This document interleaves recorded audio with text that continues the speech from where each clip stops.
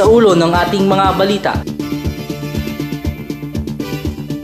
Election-related incidents sa rehiyon ng Mimaropa bumaba ng 69.23% ayon sa PNP. Itinalagang deadline para sa pagsusumite ng Statement of Election Contributions and Expenditures ng mga kumandidato ngayong araw na. Silid sa isang boarding house sa Santa Maria Village, nasunog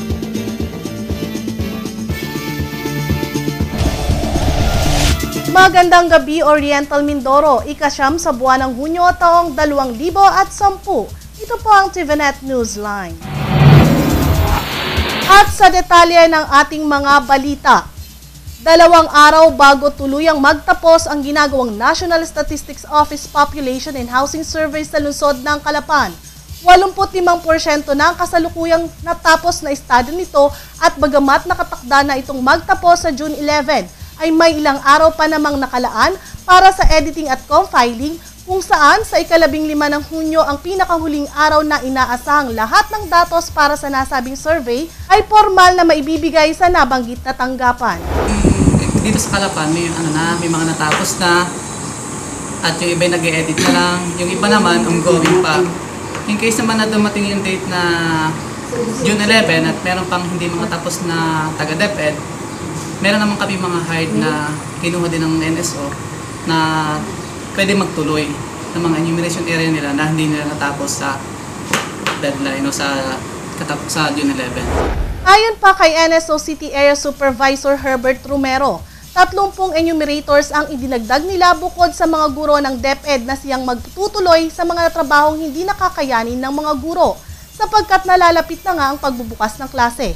Hindi naman sa usapin ng pangamba ng mga gurong gumanap bilang mga census enumerators na hindi agad nila makukuha ang kanilang nakatakdang compensation. Naniniwala naman si Romero na agad din naman itong matatanggap ng mga ito. Hindi naman po nangyayari sa NSO na nagtatagal na hindi mabayaran ang mga hired employee dahil national government naman po ito. Patunay pa niya nito ang natanggap ng training fees ng mga enumerators na nagkakahalaga ng 279.50 pesos per day na may kabuwang 1,397.50 sa loob ng limang araw.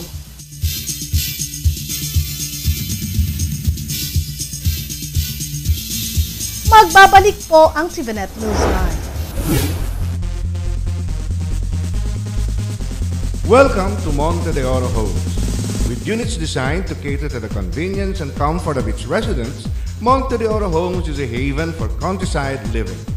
A perfect place for those who would want to combine green living with modern day facilities and amenities. Our model unit types Row House,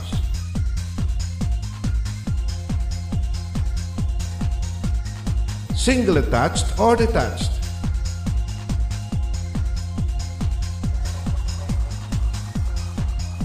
Townhouse.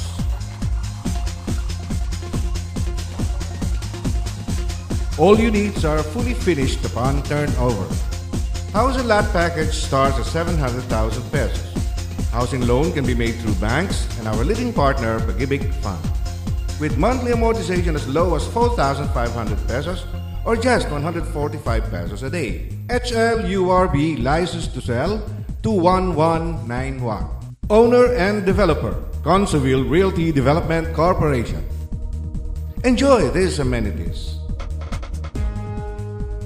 And with a flood-free strategic location with close proximity to almost everything, it is surely a home for ideal family living.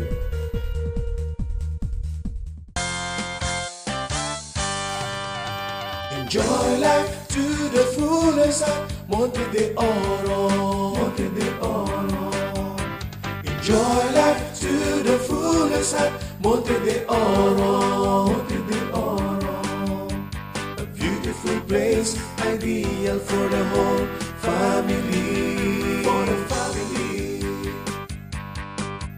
Where the ambience is inspiring and the people are loving. A wonderful place for our kids to enjoy. A home for our satisfaction.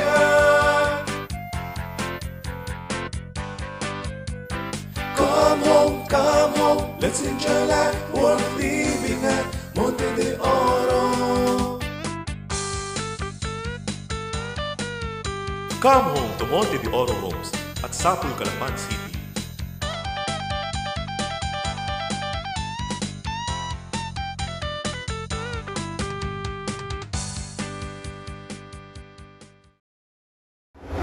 kasabay ng patuloy na pagpapatala ng marami-rami pa ring mga mag-aaral sa Jose J. Leydo Jr. Memorial National High School ginanap naman umaga ng ikasyam ng buwang kasalukuyan ang orientation at sectioning ng mga first-year high school students sa Governor Alfonso Umali Senior Gymnasium ng nasabing paaralan. Di alintana ang init ng panahon, matyagang hinintay hindi lamang ng mga mag-aaral, kundi na rin ng ilang mga magulang na kasama ng mga ito na matawag ang pangalan ng mga first-year students at kung saang section sila kabilang. Inaasahan naman ang pagdami pa ng magpapatala sa huling araw ng enrollment at ang paglobo ng populasyon ng naturang paaralan, bunsod na rin sa hirap ng buhay sa ngayon.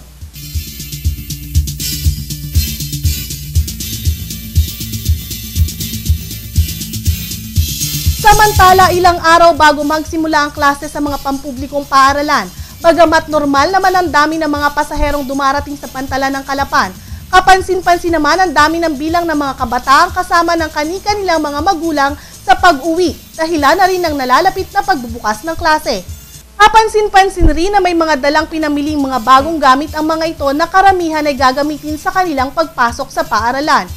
Inaasahang mas darami pa ang bilang ng uuwi sa darating sa weekends at lunes, ikalabing apat ng buwang kasalukuyan na idineklarang regular holiday dahilan sa Sabado ang tinama ng June 12 kung saan ipagdiriwang natin ang selebrasyon ng kalayaan ng ating bansa.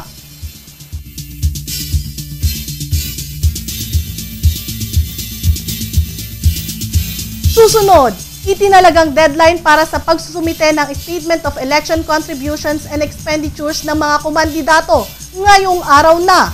Yan at iba pang mga balita makalipas po lamang ang ilang paalaala. Bakit ka kasi kumabit? Alam mong di tama yan, di ba? Huwag ka nang gumamit ng pag-aari ng iba. Nakakaperwisyo ka sa mga legal na cable. Lumalabo ang signal nila. Mahiya ka naman, hoy. Illegal na cable mo, putulin na. Ano, gusto mo bang umabot pa sa kulungan? Umiwas ka na sa gulo tsaka skandalo. Huwag maging kabit. Magpakabit ng tama ngayon. Supported by PCTA. I want my beating back.